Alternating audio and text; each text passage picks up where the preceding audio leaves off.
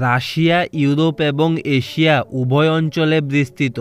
রাশিয়ার বেশিরভাগ অঞ্চল এশিয়া মহাদেশের অন্তর্গত, তবে দেশের বেশিরভাগ মানুষ ইউরোপে বসবাস করে। রাশিয়ার ঐতিহাসিক কেন্দ্রস্থল ইউরোপে অবস্থিত। সাম্রাজ্য বিস্তারের কারণে দেশটি এশিয়ায় তার অঞ্চল বিস্তৃত করেছিল। কিন্তু যেহেতু রাশিয়ার ভূখণ্ড এখন ইউরোপ এবং এশিয়া অংশ জুড়ে রয়েছে তাই দেশটিতে উভয় মহাদেশের মানুষ এবং সংস্কৃতি অন্তর্ভুক্ত রয়েছে। রাশিয়ান ফেডারেশনের অঞ্চলটি ইউরোপ এবং এশিয়ার মধ্যে মহাদেশীয় সীমানা জুড়ে রয়েছে।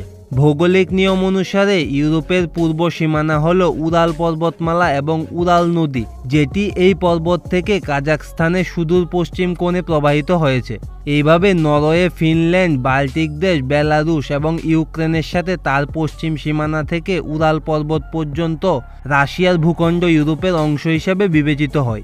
তবে অবশ্যই রাশিয়ার এমন অঞ্চল রয়েছে যা উরাল পর্বতমালার পূর্ব দিকে অবস্থিত, যার পুরোটাই এশিয়ার অংশ।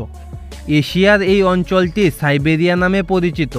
এবং এটি উত্তর প্রশান্ত মহাসাগর থেকে বেরিং সাগর পর্যন্ত পূর্ব দিকে প্রসারিত। প্রকৃতপক্ষে রাশিয়া এবং মার্কিন রাজ্য আলাস্কা একে অপরের নিকটতম বিন্দুতে মাত্র আট কিলোমিটারের মধ্যে অবস্থিত। দেশটির উত্তর প্রশান্ত মহাসাগরে জাপানের সাথে একটি সামুদ্রিক সীমান্ত রয়েছে। এটি মধ্য এশিয়ার দেশগুলির সাথে স্থল সীমানাও ভাগ করে, যা একসময় রুশ শাসিত সোভিয়েত ইউনিয়ন এবং মঙ্গোলিয়া, চীন এবং উত্তর কোরিয়ার পূর্ব এশিয়ার দেশগুলির অংশ ছিল। প্রকৃতপক্ষে রাশিয়ার বিশাল ভূখণ্ডের কারণে স্থলভাগের দিক থেকে এটি বিশ্বের বৃহত্তম দেশ। যদিও রাশিয়ার বেশিরভাগ স্থলভাগকে এশিয়ার অংশ হিসাবে বিবেচনা করা হয়, কিন্তু রাশিয়ার জনসংখ্যার বেশিরভাগই দেশের ইউরোপীয় অংশে বসবাস করে।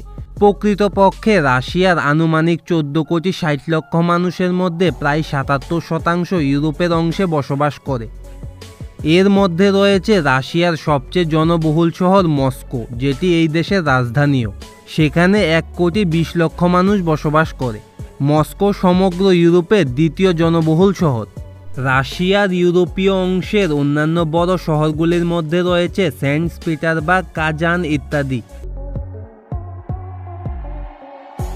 যদিও রাশিয়ার ভূখণ্ড এখন ইউরোপ এবং এশিয়া উভয়ের অংশ জুড়ে রয়েছে, তবে একটি জাতি হিসাবে রাশিয়ার উৎপত্তি হয় ইউরোপে। এটি হলো প্রথম স্লাবিক রাষ্ট্র, যা নবম শতাব্দীতে কিয়েবান রুশ প্রতিষ্ঠার সাথে শুরু হয়েছিল। কিয়েভ, বর্তমান ইউক্রেনের রাজধানী। সেখানেই প্রথম বিশাল রুশ সাম্রাজ্য গড়ে ওঠে। তেরো শতাব্দী এবং পনেরো শতাব্দীর মধ্যে এই রাজত্ব ধীরে ধীরে বর্তমান রাশিয়ার ইউরোপীয় অংশে বিস্তার শুরু করে। পনেরোশো একাশি এবং ষোলোশো উনপঞ্চাশ সালের মধ্যে রাশিয়া এশিয়া অঞ্চল জয় করেছিল, যা এখন সাইবেরিয়া অঞ্চল হিসাবে পরিচিত। আজ রাশিয়া একটি বৈচিত্র্যময় দেশ, যেখানে ইউরোপ এবং এশিয়া উভয়ের রাজনীতি এবং ঐতিহ্যে সমৃদ্ধ। দেশটির জনসংখ্যা তিন চতুর্থাংশের বেশি জাতিগতভাবে রাশিয়ান। কিন্তু জাতিগত রাশিয়ানরা রাশিয়ান ফেডারেশনের একশো নব্বইটি জাতিগত গোষ্ঠীর মধ্যে মাত্র একটি।